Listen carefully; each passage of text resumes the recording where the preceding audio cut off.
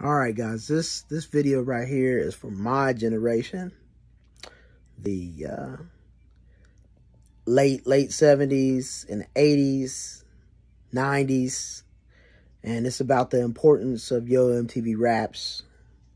You know, Fab Five Freddy, but really, Dr. Dre and Ed Lover, man, they they always had the videos and they always had the comedy and stuff like that and you got to see the birth of NWA. You got to see EPMD. You got to see Public Enemy.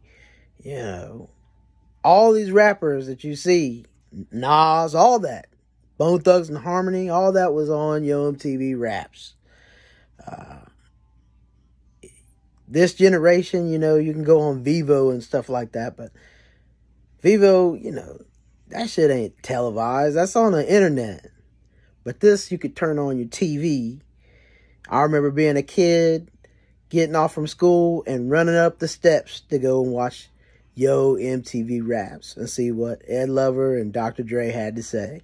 You know, whether they liked the songs, whether they didn't like the songs, but you know, it was usually always hot, you know, what they, they had to, you know, put on there. So it was always fire usually. Uh, so man, you guys just don't know what you guys missed out on. You know, our generation, wow.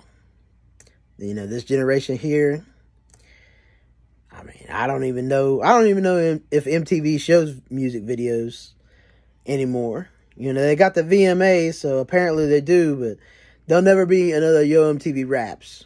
And you can count on that.